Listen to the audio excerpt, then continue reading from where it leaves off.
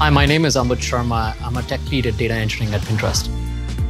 I started my career in tech early days and uh, started with research, uh, especially in distributed systems, and kept digging further and further until I found how to actually build these distributed systems from scratch. Um, and that led me to uh, more and more opportunities of running systems at larger and larger scale.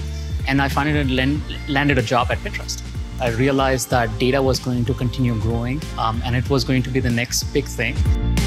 The most interesting part is really working at the scale at which we do. Uh, it's about challenging uh, ourselves to solve problems that have not been solved before and coming up with unique solutions that are efficient, scalable, and can benefit the planet.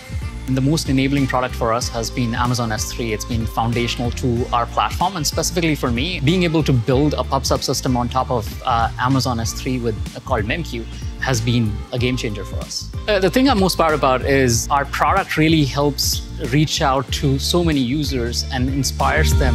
Pinterest uh, is the home of inspiration. I love the culture. That we have a value called uh, be an owner, uh, and everybody um, basically puts that first. And putting Pinner first, basically, basically figuring out uh, what uh, needs to be done and collaborate and come together when we have issues or problems. The advice I'd like to give people is to really dig in deep uh, into the technology and concepts and understand the takeaway points. You can actually learn the basic principles and you really become good at them. You can apply them at so many places. Distributed systems boil down to some basic concepts and come build with me.